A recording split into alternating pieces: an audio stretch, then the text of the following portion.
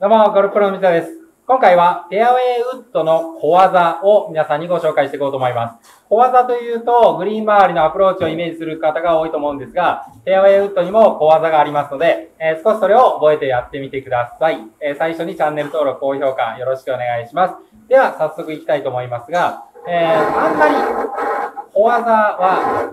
好きじゃないというか、えー、基本がやっぱり大事ですね。正直、原理にのっとって、原理原則に基づいたスイングをするっていうのはもう王道なんですね。えー、とはいえ、まあそれもなかなかうまくいかないんですよとね、えー、結構悩みを持ってる方多いと思いますので、えちょっと今日は、小技的なこともご紹介しようかなと思います。まあ、あ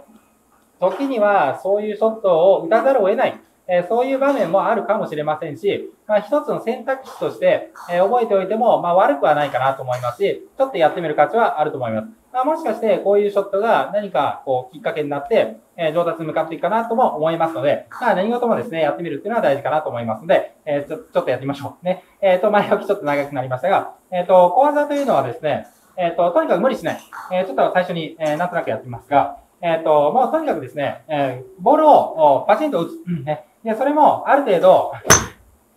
手の動きだけでもう打っちゃう。で、えー、それはですね、何がいいか、何がいいかっていうとですね、もう、しっかり体回らないんですよ。ね。えー、体硬いんですよ。特に男性の方多いですね。で、ちょっと無理してやってもいけないし、腰もちょっと痛めてる。まあ、いろんな方いると思うんですが、えー、少しこれはですね、えっ、ー、と、体の動きを抑えめです。え腕の動きで、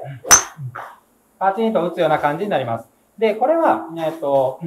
大事なポイントが1個だけあるんで、これだけ絶対押さえてやってください。えそれは、えー、テコの働きをちゃんと使うってことですね。え、スイングっていうのは、え、テコの働きをもうゴルフに限らずどんなスポーツでもテコの働きを使ってるんですね。ボール投げたり蹴ったり、えそういうのももうラケットスポーツとかも全部テコの働きを使ってすごい勢いを、えあの生み出してるんですね。で、えそのテコの働きを、だけを使うっていうぐらいの感覚ですね。えそれ以外の、まあ、遠心力とか、そういう大きく振るとか、そういうのはもう全くしない。えっ、と、ポイントは、右の肘。右の肘をちゃんと折りたたんで、左の肘は本当は伸びてる方がいいんですが、まあ曲がっても構いません。右の肘がちゃんと折りたたまれた状態で、で、このまま、ボールを捉える。で、振り抜きも全然大きく振ってません。こう、肘がいけて、という状態ですから、えー、決して、まあ理想的なスイングかと言われたら、まあそうじゃありませんね。えー、これをやりましょうとね、全員の人に言いたいわけでもありません。えー、ですが、まあそこはね、絶対間違いないようにしてくださいね。とはいえ、えー、なんとなくボールをですね、フェアウェイウッドって結構、クラブシャフトが長いので、えー、ちょっとした動きで、構えもちょっとこれ棒立ちですよ。えー、こうグッとちゃんと構えてきてる感じはありません。えー、ですが、えー、ある程度、まあ今、この、ね、ボールの行方もなんとなくわかると思うんですけど、結構飛んでますね。これ5番ウッドです。5番ウッド。えー、5番ウッドで、まあどうですか、えっ、ー、と、今ぐらいの感じだと、キャリーで150ヤードぐらいですね。で、えー、そこからランも出て170とか180とか、えー、それぐらいの感じのショットになると思います。こんな感じですね。で、スーッと。で、ボールもそんなに高く飛ばないので、OB になったりもあまりしないし、えー、スイングも大きく振らないので、あんまりこうダフリトップみたいなのも出ないんですね。えー、構えもあまりね、えー、もうちょっと棒立ちな感じで、えー、ちょっと背中もはっきりで曲がってるね。え、腕も左の肘が曲がってる感じになってしまうんですけど、それでもずっとボールが飛んでいくような感じになっていくっていうことですね。え、比較的ボールは安定して、まあ、安定してるという表現がいいかどうかはわかりませんが、まあ、それなりのところにボールが飛んでいって、え、それなりの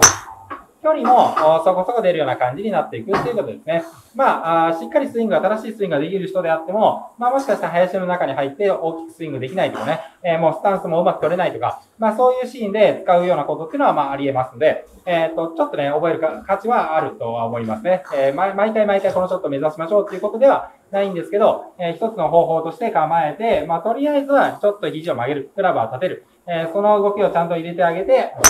で、打ってあげれば、えー、いいよと。えー、肘も引けてて構いません。大きく触れなくても構いません。体回ってなくても構いません。で、えー、それでちゃんとバチッとボールを捉えれば、えー、フェアウェイトであればある程度飛んでってくれます。これアイアンだとあんまり飛ばないですね。シャフトがあんまり長くないので、えー、あんまりこうボールバチンと弾いた感じにならないので、え、これはやっぱりウッドクラブで、やっていく必要がありますから、ウッドの使い方として、え今日は、え、あまりですね、え、正しいスイングとは、まあもちろん言えないんですけど、え、少しですね、えー、一つのポイント、テクの働きをちゃんと使って打っていけば、え、ある程度のショットは打てるんだよということを覚えておいてほしいんですね。え、これはちょっと覚えていただくと、コースで、あ、ちょっとなんか、あうまく打てそうな気がしないな、あね、あもう100%のショットできないな、だけど、まあ、なんとなく当ててあげれば、もうそれでいいかなっていう、まあ、そういう感じでできるかなと思いますから、頑張ってやってみてください。えー皆さんのスコアアップね、多いの応援してます。頑張ってやりましょう。では、さよなら。